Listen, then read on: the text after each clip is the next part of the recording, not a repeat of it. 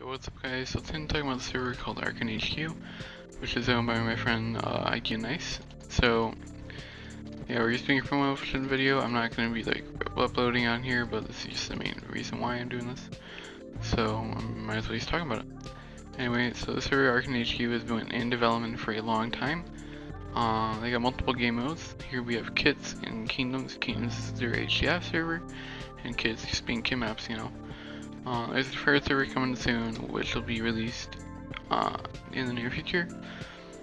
You can also, if you're interested when the the World happens, it's every week, I believe. So it's going to start on Sunday, I think. Uh, and then every week after that, it'll just reset, and then the World will be on Sunday. So if you guys are hyped for that, and if you want to see it, uh, the IP will be in the description below, and the Discord will also be down there. So make sure to check it out. And yeah, so thank you guys for watching this video. Don't forget to like and subscribe if you liked it. it yeah.